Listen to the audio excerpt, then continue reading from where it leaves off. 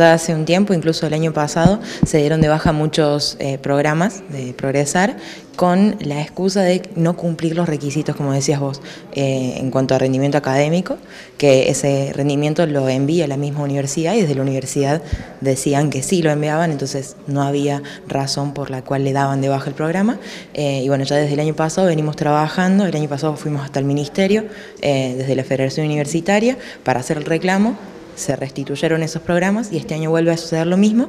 Eh, y este año no solo nos sucede dentro de, las de la universidad pública, sino que también le sucede a los estudiantes de terciarios y secundarios que también son eh, eh, beneficiados con este programa. Así que bueno, la idea es unir fuerzas y bueno, justamente ayer se, dio esta reunión entre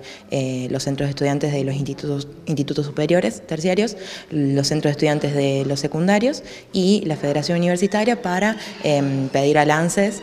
justamente el, trato de, estas becas que se han dado de baja que no hay motivo certero eh, acerca de la baja, digamos. El año pasado, bueno, fue justamente también para la época de, julio y muchos plantearon esto de, bueno, me tengo que volver a mi pueblo, porque incluso el buscar un trabajo acá está difícil, entonces eh, gracias al, reclamo que se pudo hacer el año pasado, se pudo lograr la restitución, incluso em, en su momento cobraron el mes que no habían cobrado,